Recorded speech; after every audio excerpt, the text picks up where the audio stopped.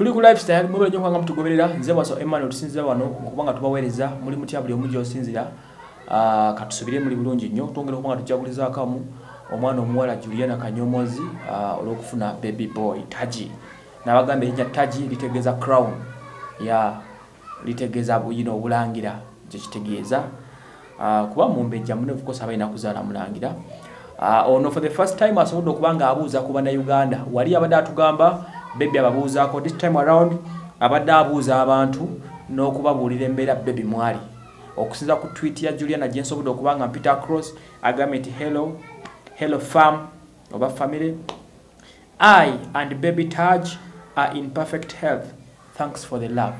Briefly kuno okubadde kwebaza bantu mwenna abapostinze abamulaze omukwano abamukoledde buli kirungi nga bw'okiwulira you know, uh, you know, ab- kwebaza briefly abadde akikoze kubebaza bagambe nti bannange nze ne taj tuli bulungi we are in a perfect life tetulina buzibu bwonna mwebale kutulaga mukwano mwebalire ddala eno tweet gyakoze nakitegeeza abayebaziza mwenna.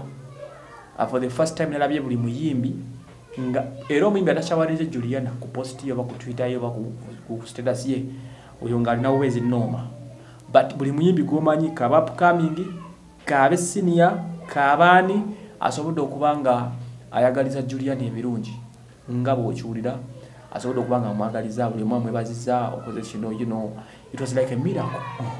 Manyi olwo omuntu akola ekintu nemulaba nga miracle.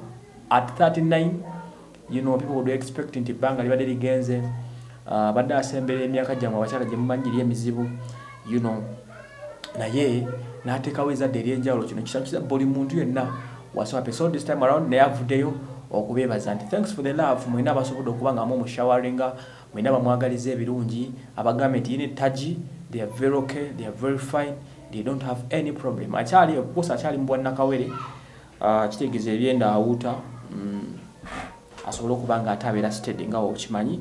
Nze bwaso emmanuel mwebale nnyo okuba nga mutugoberera